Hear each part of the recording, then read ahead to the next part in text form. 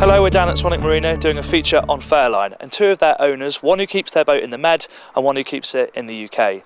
The boat in question is the Fairline Targa 50 and as you may be able to tell because of my fleece, we're on the UK leg. So let's jump on board and talk to Mark and Alison, the owners of this Targa 50 Madness. Okay, so this is Mark and Alison Clare, the owners of Madness, and they've kindly invited us on board today. Um, thanks for your time, guys. So first, let's just find out how you got to this point, how you got to owning Madness and, and a Targa 50. Well, we started off with a small boat, a 250 uh, SLX, Sea Ray 250 SLX down in Marbella. Uh, we had that for two or three years, and then we wanted something bigger. Um, we then came back here and we did a deal on a Targa 44 Open, uh, which was our first big boat, to be honest. And within a year, we decided we want something even bigger, and so we uh, we moved to the Targa 50, and we're delighted with it. And Alison, I understand it was you who saw this boat at the show, and then there was one tied up next to you just down the river, and you had a look around, and that was what kind of sealed the deal. Absolutely, I think the uh, difference in size inside was just it almost doubled the living capacity, and that was what I loved so much more. Um, it's just brilliantly designed. Absolutely. And you've had the boat since June. Yes. And whereabouts have you been on it in that time?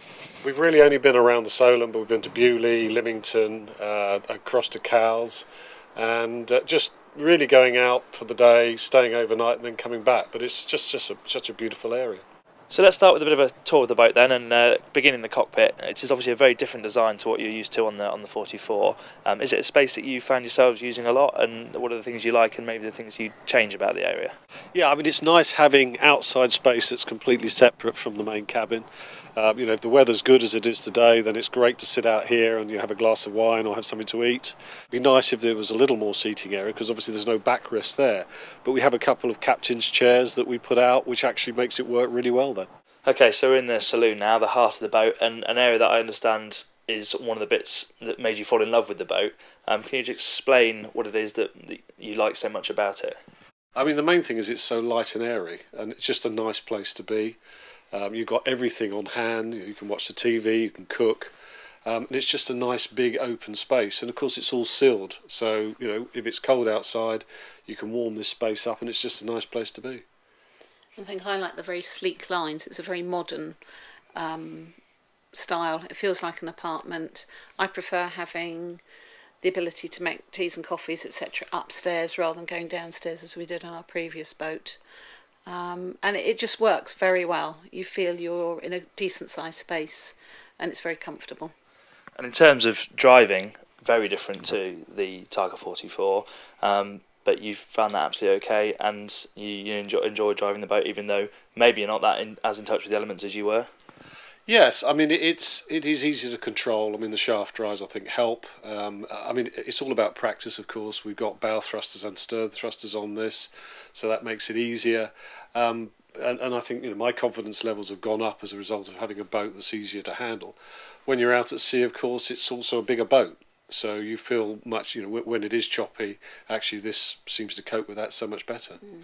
And Alison, I understand you're doing quite a lot of the crewing. How have you found that change? It's a bigger boat. Yeah. Has that made it more difficult? Actually, because the size is it a little bit easier, yeah. maybe to get around the boat. Um, oh, it's it's much easier. It's much easier to get down either side of the boat, so I feel safer from that point of view. Um, yeah, I think it, it is easier. I think the big jump for us was going from the smaller boat to the last one, and this, although it's five foot longer, it has been much easier that transition. Um, so yeah, I, I think it's safer. We've got a bigger platform off the back as well, and there's more places to hold on to. Um, and even just where you tie the ropes up, they're better um, positioned and, and just easier all round manoeuvrability, definitely. So we're down the forward cabin now, which is one of the big parts of the Targa 50, the fact that Fairline have not gone for a midships cabin, they've gone for this huge forward cabin in maybe the more traditional sense. And it's a great space, isn't it? I understand that you guys really, really like it. Yes, absolutely. It was so much bigger than the last cabin we had. Um, there's plenty of space to move around, proper five foot bed, um, loads of cupboard space, even got a dressing table, lots of mirrors. Um, there's a TV, space for a TV, which we haven't got, and there's even a safe down the bottom. So it just works very, very well. And the bathrooms on this boat much larger than the 44. Um, they impressed you, I think, didn't they? Oh, very much so. I mean, you know, having a shower in the in the in the cubicle there is is it's actually quite pleasant. There's plenty of space, and obviously you've got a separate uh, bathroom for the guests as well. So it really works well. Okay, let's go and have a look at the other two guest cabins.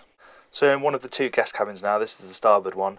Uh, both have berths that convert from uh, twins to double. The ones in this cabin slide, and there's an infill next door. But there's something in this cabin that's particularly special, uh, which is your doing, isn't there, Alison? Would you care to show us what that is? Yes, when we saw this cabin and the twin next door, fabulous wardrobe space, but there was no storage space as such. So we actually asked Fairline to develop something for us, and they've built in shelving, which is just lovely. Um, and has worked really, really well. And before that was just one huge hanging locker. It was just one huge hanging locker, and you know you need somewhere to put jumpers and bits and bobs. So that's the tour of the boat. Um, let's talk a bit about what you plan to do next. Obviously, with the season's drawing to a close now, what are your big plans for, for next season? I think we'd like to go across to the Channel Islands. Uh, I think you know we, we want to venture a bit further, and then in the longer term we might you know we might put it down in the Med for a while. I think uh, you know it'd be great to get sort of constant sunshine, but um, I mean we're very very pleased with the boat. It's great. And you were saying that having it in the UK, you really want to get used to it here and, and you know get to know the boat well before you move it anywhere else. Yes, I think it's getting uh, getting used to it, um, getting our confidence and just actually boating. Um, it would be nice to go beyond the edges of the Solent because that's our perimeter so far. Um, but yeah, at some stage it will go out to the Med, I think. But because it's got so much space, we can use it all year round, which makes it a very versatile boat as far as we're concerned. Fantastic. Thanks a lot for your time today, guys.